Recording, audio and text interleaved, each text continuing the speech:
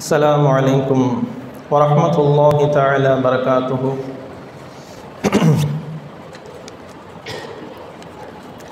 الحمد لله.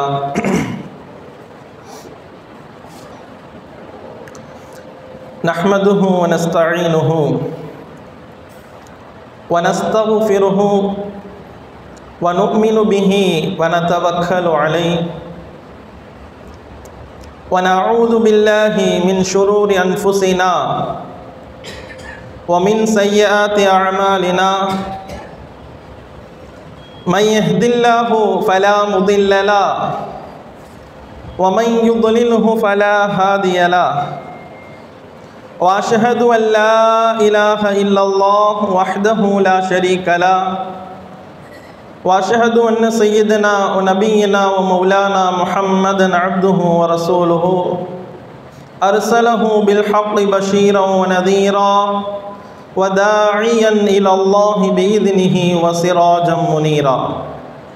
أما بعد قال الله تعالى في القرآن العظيم وفي الفرقان المجيد أعوذ بالله من الشيطان الرجيم. بسم الله الرحمن الرحيم. ألا إن أولياء الله لا خوف عليهم ولا هم يحزنون.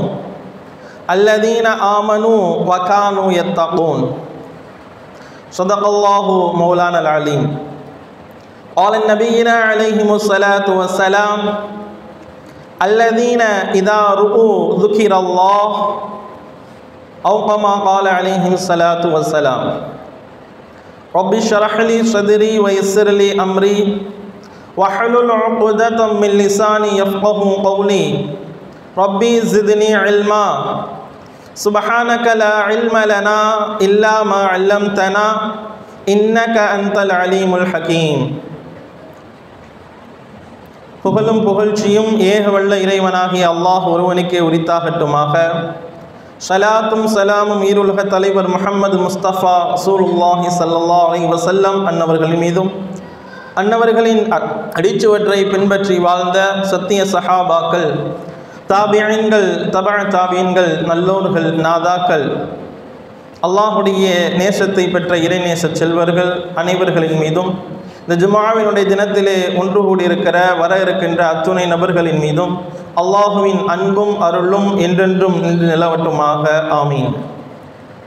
கண்ணியமிக்க அல்லாஹுவின் மேலான நல்லடியார்களே இன்றைக்கு ஜும்மாவினுடைய தினத்திலே நாம் இறை நேசம் பற்றியும் இறை நேசர்கள் குறித்தும் இறை நேசத்தை பெறுவதற்கு உண்டான வழிமுறைகளை குறித்தும் இன்ஷால்லா குரான் ஹதீஸ் வழியிலே நாம் பார்க்க இருக்கின்றோம்.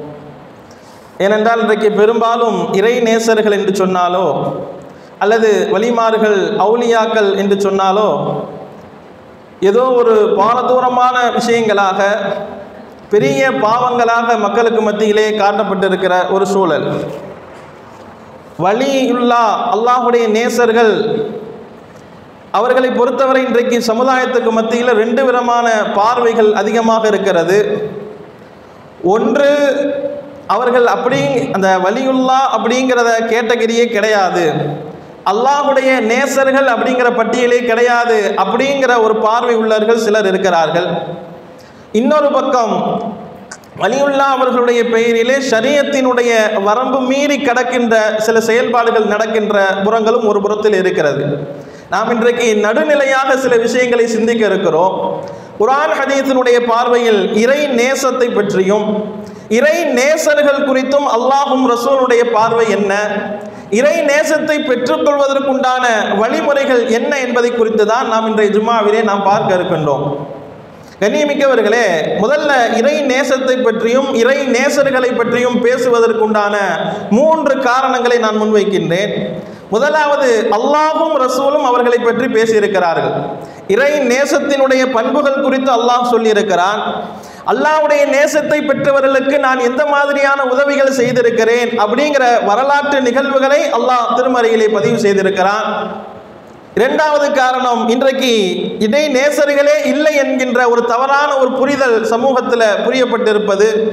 மூன்றாவது காரணம் இறை நேசர்கள் ஈமானை தானும் பெற்று தனக்குள் மாத்திரம் வைத்துக் கொள்ளாமல் அந்த ஈமானை பல மக்களுக்கு மத்தியிலே எடுத்து சென்றதனுடைய ஒரு பங்கு இறைநேச செல்வர்களுக்கும் உண்டு என்கின்ற இந்த காரணத்தின் அடிப்படையில் தான் இன்றைக்கு ஜுமாவிலே நாம் அதை குறித்து சில நடுநிலையான சில விஷயங்களை சிந்திக்க இருக்கிறோம்.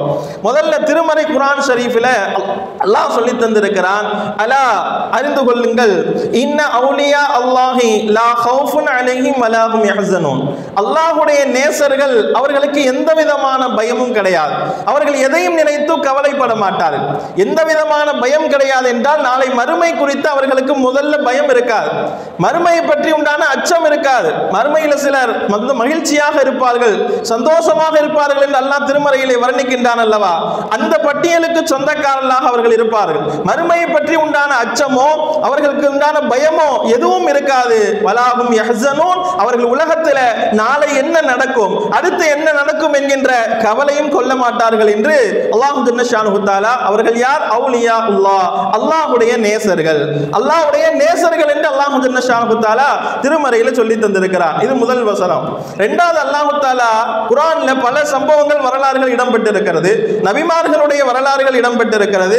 இதையெல்லாம் தாண்டி சிலருடைய வரலாறுகள் இடம்பெற்றிருக்கிறது. அவர்களெல்லாம் யார் என்று பார்த்தால் அவர்கள் எல்லாம் அல்லாஹுடைய நேசத்தை பெற்ற நல்லடியார்கள். அவர்களுக்கு அல்லாஹ் எந்த மாதிரியான உதவிகளை செய்தான்? என்னுடைய நேசத்தை பெற்ற ஒரு அடியான். என்னை நெருங்கி நெருங்கி வந்திருக்கக்கூடிய ஒரு அடியான் என்னை அடைந்து கொள்ள வேண்டும் என்கின்ற ஆர்வத்தில் ஆசையில் இருக்கின்ற என்ன அடியான் அவன் என்னை நெருங்கி விட்டால் என்னுடைய நேசத்தை பெற்றுவிட்டால் அவனுக்கு உலகத்தில் நிறைய ரிசத்துகள் வழங்கப்படும். உலகத்தில் நான் அவனுக்கு பாதுகாப்பு அளிக்கின்றேன் என்ற அடிப்படையிலே நிறைய நிகழ்வுகள் குரானில் பதிவு செய்யப்பட்டிருக்கிறது. நான் ஒன்றொன்றை மட்டும் சொல்லுகின்றேன். உதாரணமா மரியம் அலைஹிஸ்ஸலாம் பத்தி அல்லாஹ் திருமறையில் சொல்லியிருக்கிறார். மரியம் அலைஹிஸ்ஸலாம் என்பவர்கள் யார் என்றால் அவர்கள் நபி கிடையாது. அவர்கள் நபி கிடையாது. அவர்கள் இறைநேச பெண்மணி.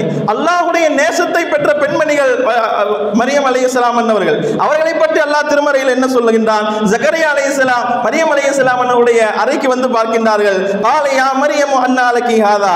மரியம் அலைஹிஸ்ஸலாமுடைய அறையில நிறைய பழங்கள் இருக்கிறது. எப்படிப்பட்ட பழங்கள் என்றால் அந்த சீசன்ல கிடைக்காத பழங்கள் எல்லாம் இருக்கிறது. நாம் சொல்லுகின்ற விஷயம் குரான்ல இருக்கின்ற அந்த வரலாற்றை மட்டும் சொல்லுகின்றேன். இந்த சீசன்ல கிடைக்காத பழங்கள் எல்லாம் அங்க இருக்கிறது. ஜகரியா அலைஹிஸ்ஸலாம் வந்து கேட்கிறாங்க பாலையா மரியம் அன்னாலக்கி ஹாதா? மரியமே இது என்ன? இது என்ன பழங்கள் எல்லாம் இருக்கிறது? எங்குமே கிடைக்காத பழங்கள் எல்லாம் இருக்கிறது. பாலத்து மரியம் இஸ்லாம் என்ன சொன்னார்கள்? அடுத்து அல்லாஹ் சொல்லுகிறான் பாலத்து ஹுவ மின் இந்தில்லா இது அல்லாஹ்வுடைய புறத்திலிருந்து எனக்கு வழங்கப்பட்டது. இன்னல்லாக இருசப்பமை யஷா பிகைரி ஹிசாப். அல்லாஹ் யாருக்கு நாடி விட்டானோ அவர் அறியாத புறத்திலிருந்து அவருக்கு ரிசுக்கு கொடுப்பான். அவர் அறியாத புறத்திலிருந்து அவருக்கு ரிசுக்கை வழங்குவான் என்று ஜக்கரியா இஸ்லாம் மரியம் இஸ்லாம் என்பவரை பார்த்து ஆச்சரியப்பட்டார்கள். அவர்கள் சொன்ன பதில் அல்லாஹ் எனக்கு கொடுத்த ரிசுக்கு. அல்லாஹ் எனக்கு அறியாத புறத்திலிருந்து எனக்கு உதவி செய்தான் என்று சொன்னார்கள். இந்த நிகழ்வு திருமறையில் பதிவு செய்யப்பட்டு இருக்கிறது விரிவுரையில் நீங்கள் பார்க்கலாம். தப்சீர்களில் எடுத்து பாருங்கள். மதியம் அலி இஸ்லாம் அவர்கள் நபி கிடையாது. அவர்கள் அல்லாஹுடைய நேசத்தை பெற்ற ஒரு பெண்மணி. அல்லாஹுடைய பொருத்தத்தை பெற்ற அல்லாஹுடைய நேசத்தை பெற்ற ஒரு பெண்மணி என்பதாகத்தான் எல்லா விதமான தப்சீர்களிலும் அவர்கள் குறிப்பிடுவார்கள். இது முதல் செய்தி. இரண்டாவது செய்தி சுலைமான் அலி இஸ்லாமை பற்றி ஒரு செய்தி வருகிறது. இறைநேசர்களை பற்றி அல்லாஹ் இறை அல்லாஹுடைய நேசத்தை பெற்றவர்களை பற்றி அல்லாஹ் பேசியிருக்கிறார். இதெல்லாம் குரான்ல சுலைமான் அலைஹிஸ்ஸலாமுடைய வரலாற்றில் ரொம்ப ஆச்சரியமான இன்னைக்கெல்லாம் அது குரான்ல இல்லாட்டி இன்னைக்கு நம்ப மாட்டோம். அப்படிப்பட்ட ஒரு வரலாறு தான் எது? அந்த ஜின்னு போய் அந்த அரிசை எடுத்து வரக்கூடிய அந்த நிகழ்வு இருக்கிறது அல்லவா? இது திருமறையில பதிவு செய்யப்பட்ட வரலாறு. இதே சம்பவம் குரான்ல இல்லாட்டி நாம தான் இன்னைக்கு நம்ப மாட்டோம். ஆச்சரியமா இருக்கும் அது எப்படி சாத்தியமாக ஆகும்? நமக்கு அந்த வரலாறு தெரியும் அல்லவா? சுலைமான் அலைஹிஸ்ஸலாம் கேட்டாங்க "இரு, அந்த பல்கிஸ் அம்மையாருடைய அரிசை யார் எடுத்து வர்றதுன்னு கேட்டாங்க. அந்த அங்க இஃப்ரீத் பால இஃப்ரீத் மினல் ஜின்னு. ஜின்ல இருந்து இஃப்ரீத் அப்படிங்கிற ஜின்னு சொல்லுச்சா? ஆனா ஆதிக்க பிஹி கபுல யகூம மின் மகாமிக். உங்களுடைய இடத்துல இருந்து எந்திரிச்சு நீங்க உட்கார்றதுக்குள்ள அந்த அரிசை நான் கொண்டு வந்துடுறேன். அந்த அரிசை நான் கொண்டு வந்துடுறேன் அப்படின்னு ஜின்னு சொல்லியது. ஆனால் சுமேசல என்ன சொன்னாங்க? எனக்கு அதை விட வேமா வேணும். அதுக்கு முன்னாடியே எனக்கு வேணும் அப்படின்னு சொன்ன பொழுது அல்லாஹ் திருமறையில் சொல்லுகிறான் காலல்லதி இந்தஹு இல்மும் மினல் கிதாப். வேதத்திலிருந்து இல்மு கொடுக்கப்பட்ட ஒரு மனிதர் அவர் சொன்னார். அப்படியே தான் நீங்கள் விரிவுரைகளை எங்க பார்த்தாலும் தெரியும். விரிவுரைகளை இப்னு அப்பாஸ் ரலியல்லாஹு சொன்னாங்க. அந்த ஒருவர் யார் அப்படின்னு சொல்லும் பொழுது சுலைமா சுலைமான் அலி இஸ்லாம் அவருடைய எழுத்தர் ஆசிப் என்பதாக இப்னு அப்பாஸ் அலி அல்லாஹ் அவர்கள் விளக்க உரையிலே விரிவுரையிலே நமக்கு விளக்கங்களை சொல்லி தருகிறார்கள். அப்ப அந்த மனிதர் யார்? அவரை பற்றி எதுக்கு அல்லாஹ் குர்ஆன்ல சொல்லுகின்றான்? அவர் என்ன செஞ்சாரு? கபல ஐயர் தட்ட இலைக்க தரப்பு உங்களுடைய பார்வை கீழ் மேல இருந்து கீழே கண் அசைவதற்குள் உங்களுக்கு நான் அந்த சிம்மாசனத்தை கொண்டு வந்து சேர்க்கிறேன் என்று அந்த மனிதர் சொன்னாரே. அப்ப அந்த மனிதர் யார்? அவரை பற்றி எதுக்கு அல்லாஹ் குர்ஆன்ல சொல்ல வேண்டும் என்றால் அவர் அல்லாஹுடைய நேசத்தை பெற்றவர். அல்லாஹுடைய பொருத்தத்தை அடைந்தவர். அல்லாஹ் அல்லாஹ் சொல்லி காட்டுகின்றான். என்னுடைய பொருத்தத்தை அடைந்தால் என்னுடைய புறத்திலிருந்து அறியாத புறத்திலிருந்து உதவிகள் ஏற்படும். நீங்கள் நினைத்து பார்க்காத அளவுக்கு உதவிகள் ஏற்படும். அந்த மனுஷருக்கு அல்லாஹ் உதவி செய்திருக்க அவர் கொண்டு வந்தார்னா அவருடைய ஆற்றல்ல கொண்டு வரல.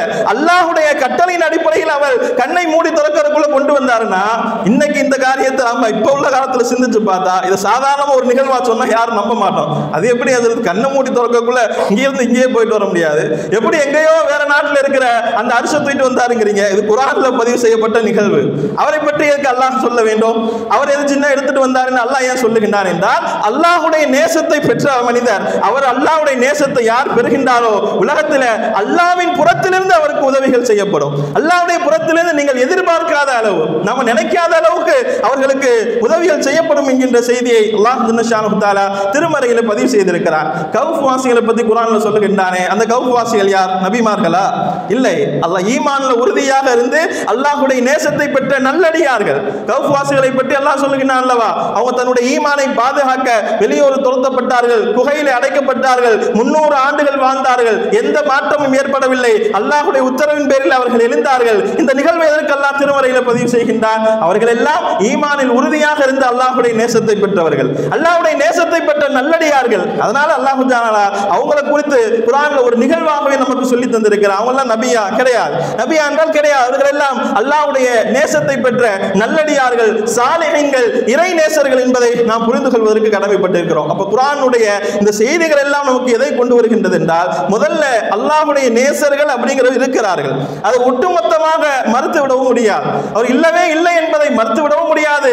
அதே வேளையில நாம் நடக்கின்ற சில வலிமார்களுடைய பெயரால் நடக்கின்ற சரியத்திற்கு புறம்பான காரியங்கள் சரியத்தை விட்டும் வரம்பு மீறுகின்ற காரியங்களை ஆதரித்து விடவும் முடியாது என்பதை நாம் நினைவில் கொள்வதற்கு கடமைப்பட்டிருக்கிறோம். இப்ப நடுநடையோடு சிந்தித்து பார்த்தால் இந்த குரானுடைய இந்த வசனம் ஹதீஸில் கூட ரசூல் சல்லா அலே செல்லாம் நாங்கள் அல்லாவுடைய நேசரை எப்படி யார சூழல்லா அடையாளம் கண்டுகொள்வது என்று சொன்ன பொழுது பெருமான சல்லல்லா அலிஸ்லாம் என்ன சொன்னார்கள்? அல்லதீன இதா ருஹூதுக்கிரல்லா யாரை பார்த்தால் அல்லாஹுடைய சிந்தனை வருகின்றதோ அவர்தான் அல்லாஹுடைய நேசர்.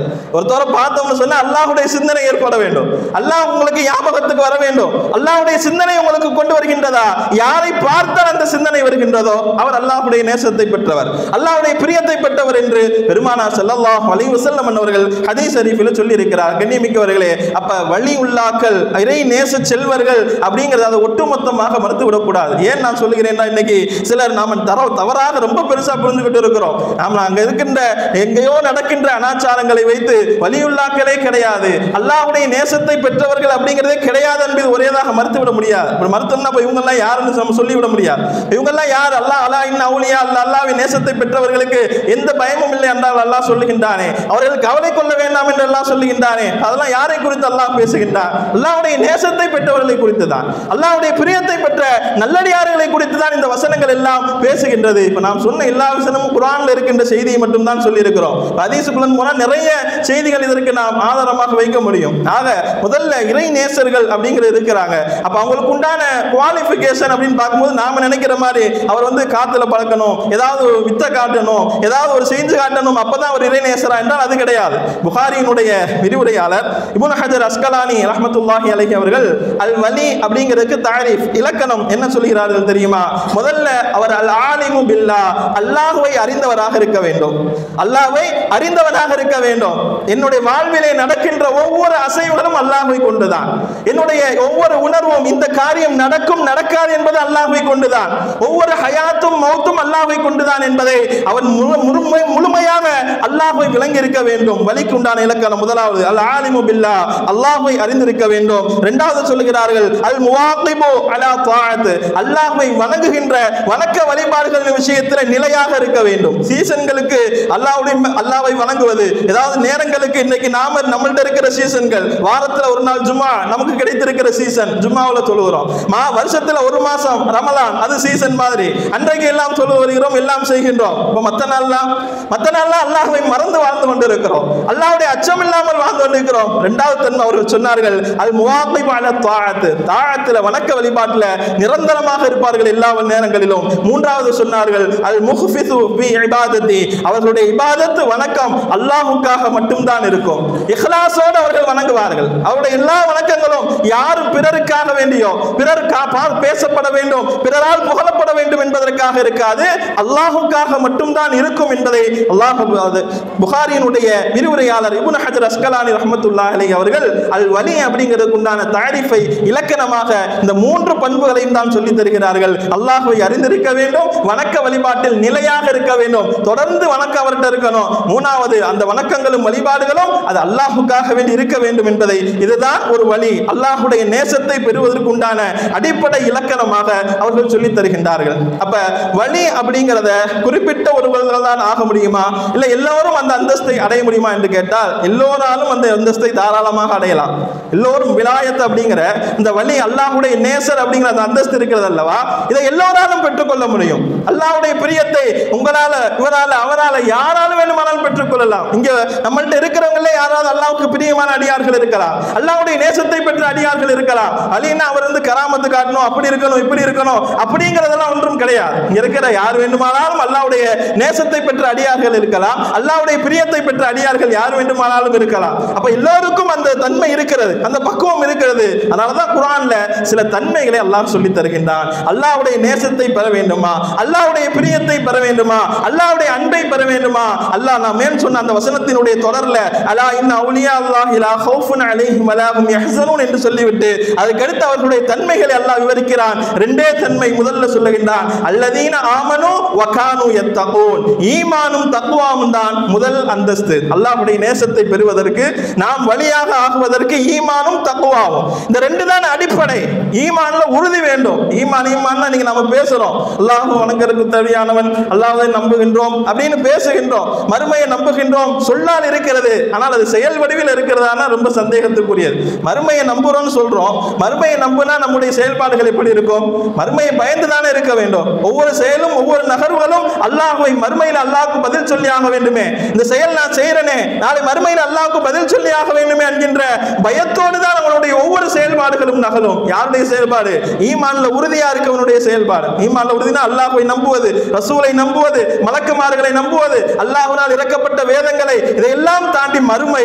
மீண்டும் நாம் எழுப்பப்பட்டு அல்லாஹுடைய சன்னிதானத்திற்கு முன்னால் நிறுத்தப்படுவோம் அப்படிங்கிற இந்த ஈமான்ல உறுதி இருக்க வேண்டும். இந்த இதுதான் வலியினுடைய அல்லாஹுடைய நேசத்தை பெறுவதற்குண்டான முதல் காரணம் அல்லாஹ் சொல்லுகின்றான் ஈமான். இரண்டாவது காரணம் தக்குவா இரையச்சம். இந்த ரெண்டு தான் அசல் கண்ணியமிக்கவர்களே. நாம் அதிகமாக இதை பற்றி சொல்லி இருக்கிறோம் அந்த வாரத்தில் கூட ஃபஜருடைய பயணங்கள் கூட நாம் சொன்னோம் அல்லவா? தக்குவா அல்லாஹ் குரான்ல இன்ன அக்கிரமக்கும் இந்த அல்லாஹ் அத்தகாக்கும் என்று சொல்லியிருக்கிறான் அல்லவா? உங்கள அல்லாவிடத்தில் கண்ணியமானவர் யாருன்னா தக்குவாவுடையவர் தான். இதுல எந்த சந்தேகம் கிடையாது. இப்போ முத்தகையின் யாரு முக்மீனின் யார் அப்படிங்கிற அவங்களுடைய பண்புகள் என்னன்னா கடந்த வாரத்துகளோடு சில தன்மைகள் சொன்னோம். முக்மீன் அவர் எப்படி இருக்க வேண்டும்? முத்தகையின் அவர் எப்படி இருக்க வேண்டும் என்கின்ற தன்மைகளை எல்லாம் கடந்த வாரங்களிலே நாம் பட்டியலிட்டு காட்டினோம் அல்லவா? அப்ப ஈமா ஈமானும் தக்குவாவும் தான். அல்லாஹ்வுடைய நேசத்தை ஒருவன் அடைய வேண்டும் என்றால் அவனுடைய முதல் அளவுகோல் ஈமானும் தக்குவாவும். ஈமான் அவள்கிட்ட உறுதியா இருக்கணும். அதுல எந்த சந்தேகம் வந்துடக்கூடாது. நாளைக்கு எழுப்பப்படுவோமா மௌத்தாயிட்டு அது எப்படி சாத்தியமாகுமா? இந்த காலத்துல நிறைய விஷயங்கள் அப்படி சிந்திக்க நாம் தொடங்கி விட்டோம் நிறைய சிந்தித்து சிந்தித்து மூசா அலை இஸ்லாம் காலத்துல மாதிரி மூசா அலை சில பேர் கேட்டாங்க அல்லவா? நாங்க அல்லாவை இன்னி ஜஹரத்தன் எங்கிட்ட அல்லாவை காட்டுங்க அப்பதான் நாங்க நம்புவோம் அப்படின்ட்டாங்களாம். இந்த ஈமான்ல ரொம்ப வரம்பு மீறி போனவர்கள் இப்படியே ஒவ்வொன்றா யோசிச்சு யோசிச்சு அல்லாஹ் என்ற காட்டுங்க. அப்பதான் நாங்க ஈமான் கொள்வோம் என்று மூசா அலை ஒரு கூட்டம் சொன்னார்கள். அவர்களுக்கு அல்லாஹுடைய வேதனை வந்தது என்று திருமறையில் அல்லாஹ் பதிவு செய்கிறார். ஏன்னா உள்ள காலகட்ட சூழ்நிலை அப்படி இருக்கிறது. எதையும் நாம் மறுக்கின்ற ஒரு காலகட்டம். அதனால மறுமையை தயவு செய்து யாரும் சந்தேகித்து விடக்கூடாது. அது வந்து ஈமான் சம்பந்தப்பட்ட விஷயம். நம்முடைய அடி நாதம் அதனுடைய அடிப்படையே அதுதான். அதனால மறுமையினுடைய விஷயத்துல அதை நம்புகின்ற விஷயம் உறுதி இருக்க வேண்டும். அதே போன்று தத்துவாவுடைய வாழ்க்கை நம்மிடத்தில் இருக்க வேண்டும். இந்த ரெண்டும் தான் முதலாக அல்லாஹுடைய நேசத்தை பெறுவதற்கு உண்டான முதல் அளவுகோலாக நாம் பார்க்க முடிகின்றது. இரண்டாவது நாம் பார்க்கலாம் பெருமானா செல்லல்லா அலைஹி வாழ்வு. அல்லாவுடைய மகப்பத் எதில் இருக்கிறது? அல்லாஹ் திருமறையில் சொல்லுகின்றான் அல்லவா? குல் இன் குந்தும் துகை போன் அல்லாஹ். அல்லாஹுவை நீங்கள் பிரியப்பட வேண்டும் என்றால் அல்லாஹுவை விருப்பம் பிரிவி பிரி ஹுப்பை வைக்க வேண்டும் என்றால் அல்லாஹ்வின் மீது நேசத்தை வைக்க வேண்டும் என்றால் ஃபத்தபிஊனி ரசூலை பின்பற்றுங்கள். என்னை பின்பற்றுங்கள் என்று பெருமானா செல்லல்லா அலைஹி அன்னவர்களுக்கு அல்லாஹ் சொன்னான் அல்லவா? திருமறையில் பதிவு செய்யப்பட்டிருக்கிறது அல்லவா? காரணம் அப்ப அல்லாஹுடைய நேசத்தை அடைவது ஈமானில் இருக்கிறது தத்துவாவில் இருக்கிறது ரசூலுடைய வாழ்வில் இருக்கிறது வாழ்வியல்ல வர வேண்டும். இன்னைக்கெல்லாம் ரசூல் ரசூல் பேச்சுக்கள் நிறைய இருக்கிறது. அதிகங்கிற பேச்சுக்கள் நிறைய இருக்கிறது. தகவல்கள் நிறைய இருக்கிறது. செய்திகள் நிறைய இருக்கிறது. வாழ்வியல்ல எந்த அளவுக்கு வந்திருக்குன்னு பாருங்க. இத்தாத் அதாவது முழுக்க நம்முடைய வாழ்க்கையில் அதை எந்த அளவுக்கு செய்கிறோம் நடைமுறைப்படுத்துறோங்கிறத பாருங்க. பேசுகின்றோம் எழுதுகின்றோம். தகவல் நிறைய இருக்கு செய்தி நிறைய இருக்கு. வாழ்வியல்ல நம்முடைய வாழ்வியல் என்ன மாற்றம் இத்திபா ரசூல்ல என்ன செய்திருக்கிறோம்? சாதாரண ஒரு தாடியினுடைய விஷயமாக இருக்கட்டும். எந்த விஷயமாக இருக்கட்டும் அதெல்லாம் சுண்ணத்து தானே. பெருமானா செல்லல்லா அலிஸ்லாம் அவருடைய வாழ்வியல் அவருடைய நடைமுறையும் அவருடைய உடம்பினுடைய அது தோற்றங்களும் அவருடைய நடைமுறையும் செயல்களும் அத்தனையும் நம்முடைய எல்லா பகுதிகளும் பெருமானா செல்லல்லா அலிஸ்லாம் அவர்கள் இத்திபா செய்வதற்கு தகுதியானவர்கள். அதுதான் அல்லாஹ் என்ன செய்யலாம் அல்லாவுடைய பிரியத்தை அடைய வேண்டும் என்றால் இத்திபா ரசூல் ரசூலை இத்திபா செய்வது. இத்திபா செய்வது என்பது வெறுமனே பேச்சிலே சொல்லிலே இருப்பது கிடையாது. வாழ்வியலிலே வாழ்ந்து காட்டுவது. வாழ்வியலில் வாழ்ந்து காட்டுவதுதான் உண்மையான இத்திபா என்பதை நினைவு வைத்துக் கொள்ள வேண்டும். அந்த இத்திபா வந்துச்சுன்னா அல்லாஹுடைய நேசத்தை அடைந்து கொடுக்கக்கூடியவர்களாக நாம் மாறிவிடுவோம். மூன்றாவது பண்பு அல்லாஹ் சொல்லுகின்றான் திருமறையிலே அல்லாஹுடைய ஃபீ பாதையில் செலவு செய்யுங்கள். வலா துல்கு பி ஐதீக்கும் தஹ்லுகா. உங்களுடைய கரங்களை அழிவின் பக்கம் நாசத்தின் பக்கம் போடாதீர்கள். வாஹ்சினு. நன்மை செய்யுங்கள். இன்னல்லாஹ யுஹிப்புல் முஹ்சினீன். நிச்சயமாக அல்லாஹ் நன்மை செய்பவரை நேசிக்கக்கூடியவராக இருக்கிறார். நன்மை செய்பவரை நேசிக்கக்கூடியவராக இருக்கிறார். அப்ப நன்மைகள் நம்முடைய வாழ்நாளில் வெளியிடுவது நன்மையான காரியங்களை தேடி தேடி செய்வது எது எதிலெல்லாம் அல்லாஹ் நன்மை வைத்திருக்கிறான் ரசூல் நன்மை இருக்குன்னு சொல்லி இருக்கிறாங்க அப்படிங்கிற அதை தெரிந்து கொண்டு செய்வது அல்லாஹுடைய பிரியத்தை பெற்று தரக்கூடிய செயல் என்று இந்த திருமறையின் மூலம் நமக்கு தெரிய வருகிறது. இப்ப நன்மை நன்மைங்கிறது நிறைய விஷயங்கள் இன்னைக்கு நமக்கே தெரியாம சின்ன சின்ன விஷயங்கள்ல நிறைய நன்மை இருக்கிறது. அதீத்துல வருகிறது அல்லவா? ஒருவர் நன்மை செய்ய நாடுகின்றார் உள்ளத்துல நினைக்கிறார் ஆனால் அவர் நன்மை செய்யவில்லை என்று சொன்னால் அந்த நன்மை செய்ய நினைத்ததற்காக அவருக்கு ஒரு நன்மை பதிவு செய்யப்படுகிறது. அதே ஒரு மனிதர் நன்மை செய்ய நாடி அந்த நன்மையை தன்னுடைய வாழ்நாளில் செய்து விட்டார் என்று சொன்னால் பத்து முதல் எழுபது வரைக்கும் உண்டான நன்மைகள் அவருக்கு பதிவு செய்யப்படுகிறது. அதே ஒரு மனிதர் தீமை செய்ய நாடுகிறார் பாவம் செய்ய நாடுகிறார் என்று சொன்னாலே அவருக்கு ஒரு பாவத்தினுடைய தண்டனை எழுதப்படுகின்றது என்று பெருமானா ஸல்லல்லாஹு அலைஹி வஸல்லம் அவர்கள் ஹதீஸ் ஷரீஃபிலே நமக்கு சொல்லி இருக்கிறார்களே அப்ப நன்மைகள் எங்கெங்க இருக்கு? நிறைய நாம என்ன சொல்லலாம்? குரான் ஓது சாதாரண விஷயம். எல்லோராலும் இன்றைக்கு செய்ய முடியும் சாத்தியமான காரியம். ஆனால் குரானுக்கும் நமக்கும் இன்னைக்கு எங்கேயோ இருக்கிறோம். குரான்கிறது பள்ளிவாசல் அப்படி இருக்கிறதா? குரானுக்கும் நமக்கும் சம்பந்தம் இல்லாதவர்களாக இருக்கிறோம். எதற்கோ குரானை கேட்கின்றோம். குரான் ஓதுவதற்குத்தான். குரான் என்பது ஓதுவதற்குத்தான். அதோடு ஒரு தொடர்பை ஏற்படுத்துவதற்குத்தான். நீங்க குரானை பார்த்தா ஒவ்வொரு எழுத்துக்கும் அல்லாஹ் பத்து நன்மை வழங்குகின்றானே. ஒவ்வொரு எழுத்துக்கும் அல்லாஹ் பத்து நன்மை. திக்கி திக்கி அதை ஓதினால் கூட இரண்டு மடங்கு நன்மையை நான் அதிகமாக்கி தருகிறேன் என்று பெருமானா செல்லல்லாம் அலைஹி வஸல்லம் அவர்கள் நபிமொழியின் மூலமாக பார்க்க முடிகின்றது அல்லவா அப்ப நம்ம நம்முடைய நிலைமை என்ன? அப்ப அல்லாவுடைய நேசத்தை பெறணும்னா இந்த செயல்கள் நம்மிடத்தில் இருக்க வேண்டும். அல்லாவுடைய அன்பை பெற வேண்டும் என்றால் குரானோடு நம்மோடு நெருக்கமான தொடர்புகள் இருக்க வேண்டும். குரானை முதல்ல ஓதணும் எடுத்து பார்க்கணும். குரான்ங்கிறது வெறுமனே வைப்பது கிடையாது. இன்னைக்கு குரான் வந்து எங்க வேணுமானாலும் நீங்கள் ஓதலாம். பள்ளியாசல்ல ஓதணும் என்பது கிடையாது. பள்ளியாசல்ல அப்படியே இருக்கிறது குரான் மாஷா அல்லான்னு நிறைய இருக்கிறது பறக்கத்தாக இருக்கிறது. ஆனால் எத்தனை பேர் அதை எடுத்து பார்க்கிறோம்னு தெரியல. எத்தனை பேர் எடுத்து பார்க்கிறோம்னு தெரியல. குரானுடைய விஷயத்துல இன்னைக்கு நம்ம இன்னும் சொல்லணும்னா ரொம்ப பலகீனமாகத்தான் இருக்கிறோம். ஏன் குரான் ஓதுறதுக்கு பிள்ளைய மதரசாவுக்கு தொடர்ந்து அனுப்புவதற்கு நமக்கு முடியல. குரான் ஓத மதரசாவுக்கு குரான் கற்றுத் தருவதற்கு ஒரு பிள்ளைய தொடர்ந்து அவனால் வர முடியவில்லை. தொடர்ந்து அவனால் வர முடியலை. டியூஷன் போகணுங்கிறான் இதெல்லாம் சாத்தியம் தான் சரி இதை விட்டுட்டு இதை முடிச்சுட்டு போக வேண்டியதானே குரான் அப்போ அந்த அளவுக்கு நம்ம குரானோடு அதை தொடர்பை நாம் வைத்திருக்கிறோம். குரானோடு உண்டான நெருக்கத்தை பாருங்கள். நெருக்கத்தை பாருங்கள். இந்த நிலைமை அப்படித்தான் இருக்கிறது கண்ணியமிக்கவர்களே அப்போ அல்லாவுடைய நேசத்தை நீங்கள் அடையும்னா குரானோடு ஒரு தொடர்பை ஏற்படுத்துங்கள். குரானோடு நீங்கள் நெருக்கமாகுங்கள். குரானை ஓதுங்கள். குரானுடைய எழுத்து பொருளை படியுங்கள். எல்லாம் இன்னைக்கு இலகுவாக ஆக்கப்பட்டு இருக்கிறது. ஆனால் படிப்பதற்கு ஆள் கிடையாது. குர்ஆன்ல என்ன சொல்றான் அல்லா இந்த சூறாவில் என்ன வருகின்றது என்று தமிழ்ல இருக்கிறது. எடுத்து படிப்பதற்கு ஆள் கிடையாது அதை பின்பற்றுவதற்கு ஆள் கிடையாது. ரொம்ப பலகீனமாகத்தான் இருந்து கொண்டிருக்கிறோம் கண்ணியமிக்கவர்களே. அல்லாஹுடைய நேசம் நன்மைகளை ஒவ்வொரு நன்மையிலையும் அல்லாஹுடைய நேசத்தை அடைகின்ற வழி இருக்கிறது என்பதை நாம் புரிந்து கொள்ள வேண்டும். கண்ணியமிக்கவர்கள் அடுத்தபடியாக நாம் நம்முடைய அல்லாஹ்வுடைய நேசத்தை பெறுவதற்கு அல்லாவுடைய பிரியத்தை பெறுவதற்கு நம்முடைய விருப்பு வெறுப்பு வெறுப்பு வெறுப்புகளுக்கு முன்னால் அல்லாஹுடைய விருப்பம் வெறுப்புகளுக்கு நாம் முதலிடம் கொடுக்க வேண்டும். உதாரணமாக சொல்லணும்னா இன்னைக்கு ஃபஜருடைய தொழுகை. ஃபஜருடைய தொழுகையில் நம்முடைய விருப்பம் வெறுப்பம் என்ன? காலைல எந்திரிக்காம நல்லா தூங்கணும் அப்படிங்கிறதை நாம் நாம் விரும்புகின்றோம். அது எந்திரிச்சு வர்றது நமக்கு கஷ்டமாக இருக்கிறது கொஞ்சம் கடினமாக இருக்கிறது கொஞ்சம் அப்போ வெறுக்கிற மாதிரியான செயல் தான் இன்னைக்கு நாம் அதை எந்திரிச்சு வருவதற்கு யோசிக்கின்றோம் அல்லவா அதுல நம்முடைய விருப்பம் வந்து தூங்குவதும் அதுல எழுந்தெழுத்து வருவது நமக்கு வெறுப்பாக இருக்கிறது. இதே அந்த பஜருடைய தொழுகையில் அல்லாவுடைய விருப்பம் என்ன? என்னுடைய அடியான் எந்திரிச்சு வந்து என்னை வழங்குவதை அல்லாஹ் விரும்புகின்றான்.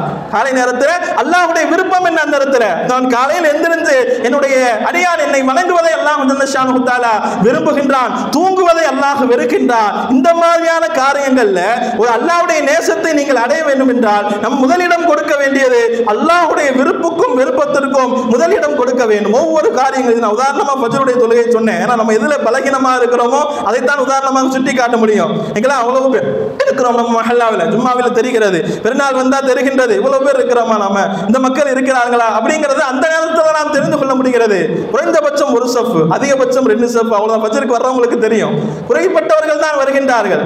நம்ம மார்க்கத்தை என்ன விளங்கி வைத்திருக்கிறோம் என்று தெரியல. அதுல தான் வெற்றி இருக்கிறது. அதுல தான் அல்லாஹுடைய விருப்பம் இருக்கிறது. அதுல தான் அல்லாஹுடைய அல்லாவை அடைகின்ற வழிமுறைகள் அல்லது அல்லாஹ் வைத்திருக்கிறார். அதனால அல்லாஹ்வுடைய நேசத்தை நாம் பெற வேண்டும் என்றால் அல்லாவுடைய நேசத்தை நாம் பெற்றுக்கொள்கின்ற நல்லடியாராக மாற வேண்டும் என்று சொன்னால் நமக்கு விருப்பு வெறுப்பான காரியத்தை செய்யறதை விட அல்லாவுக்கு எது பிடிக்குமோ அதை செய்ய வேண்டும். அல்லாவுக்கு எது பிடிக்காது? என்ன விஷயங்கள் அல்லாவுக்கு கோபத்தை ஏற்படுத்தும்? என்ன விஷயங்கள் அல்லாஹ் வெறுக்கின்றான் என்பதை பார்த்து அதிலிருந்து நாம் நம்முடைய வாழ்நாளில் தவிர்ந்திருப்பது தான் அல்லாஹ்வுடைய நேசத்தை பெற்றுத் தருகின்ற செயல்களில் ஒரு செயல் என்பதாக இந்த நேரத்தில் நான் உங்களுக்கு நினைவு கொள்கிறேன் கண்ணியமிக்கவர்களே அப்ப இது மாதிரியான அடையாளங்களை இது மாதிரியான செயல்கள் நம்முடைய வாழ்வியலில் வர வேண்டும். இத்துபாக செய்யுங்கள். அதுதான் இன்னைக்கு பலகீனமே நம்முடைய சமுதாயத்தில் அதுதான். அந்த செயல்பாடுகள் செயல் வடிவில் எதுவுமே வர மாட்டேங்குது எல்லாமே பேச்சு வடிவில் இருக்கிறது எழுத்து வடிவில் இருக்கிறதே தவிர செயல் வடிவம் நாம் கொடுப்பது கிடையாது எதுக்குமே.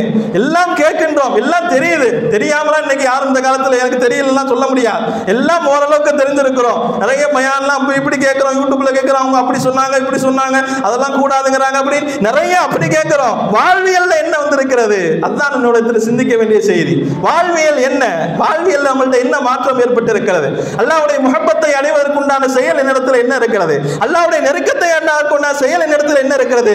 மறுமையில் வெற்றி அடைவதற்குண்டான செயல் நம்மிடத்தில் என்ன இருக்கிறது என்கின்ற வாழ்வியல் மாற்றங்கள் தான் இன்றைக்கு சமூகத்தில் தேவை என்பதை நான் ரொம்ப அழுத்தமாக நான் சொல்லுகின்றேன். அப்படி அல்லாவுடைய நேசம் கிடைத்து விட்டால் உலகத்தில் ஒருவருக்கு அங்கீகாரம் கிடைத்து விடும் திருமறையில ஹதீஸ் நான் சொல்லுகின்றேன். புகார் புகாரியிலும் முஸ்லீலும் பதிவு செய்யப்பட்டிருக்கிற நபிமொழி அபூ ஹுரைரா அலி அன்ஹு அவர்கள் அறிவிக்கிறார்கள் ஒரு அடியான் அல்லாவுடைய நேசத்தை அடைந்து விட்டால் அல்லாஹ் ஜல்லஷானு தஆலா அலி இஸ்லாம் அவர்களை அழைத்து சொல்லுவானா? ஜிப்ரீலே இந்த அடியான் இந்த இடத்துல இருக்கிற இந்த அடியான் இருக்கிறாரே அவர் என்னுடைய நேசத்திற்கு உண்டான செயலை செய்து விட்டார். என்னுடைய நேசத்திற்கு பிரியத்திற்கு உண்டான அடியாராக மாறிவிட்டார் என்று ஜிப்ரையில் அலி இஸ்லாம் என்று சொல்லுவாங்க. ஜிப்ரையில் அலி இஸ்லாம் போய் அங்கு வானுலகத்தில் இருக்கின்ற எல்லா மலக்குகளிடத்திலும் சொல்லுவார்களாம் இந்த இடத்துல இருக்கிற இந்த அடியானை அல்லாஹ் நேசிக்கின்றான். நீங்களும் நேசியுங்கள் என்று சொல்லுவார்கள். எல்லா மலக்குகளும் நேசிப்பார்கள். இறுதியாக அந்த ஹதீஸில் சொன்னார்கள் மானுலகத்தில் உள்ளவர்கள் அனைவரும் நேசிப்பார்கள். பூமியில உள்ளவர்கள் அவர்களுக்கு மக்களுக்கு மத்தியில் அவரிடத்தில் ஒரு கண்ணியம் இருக்கும் அங்கீகாரம் இருக்கும் பிரியம் ஏற்படும் என்று பெருமானா ஸல்லல்லாஹு அலிஸ்லம் சொன்னார்கள். அப்ப அல்லாவுடைய நேசத்திற்கு உண்டான அடியானாக நாம் மாறிவிட்டால் அல்லாவிடத்திலே நாம் வெற்றி பெறுகின்றோம். மலக்குகளுக்கு மத்தியிலே புகழ்ந்து பேசப்படுகின்றோம். உலகத்திலும் அவர்களுக்கு அங்கீகாரம் கிடைக்கும் என்பதுதான் நபிமொழி முஸ்லிம் ஷரீஃபில் இன்னொரு நபிமொழி வருகிறது. இதனுடைய தொடர்ச்சியாக அல்லாவுடைய கோபத்திற்கு யார் ஆளாகின்றானோ அல்லாஹ் கோபப்படுகின்ற செயலை யார் செய்கின்றானோ நாளை மறுமையில் அல்லாஹ் ஜிபைலை கூப்பிட்டு இந்த இடத்துல இந்த அடியான் எனக்கு வெறுப்பான காரியத்தை செய்து விட்டான் கோபமுடைய காரியத்தை செய்து விட்டான் அவனை ஜுபரையில் அலையலாம் உடனே மலக்குமார்கள் சொல்லுவார்கள் இந்த அடியான் இடத்துல வெறுப்பான காரியத்தில் ஈடுபட்டு விட்டான் வெறுப்பான காரியம் செய்து விட்டான் நீங்கள் எல்லாம் வெறுத்து விடுங்கள் என்று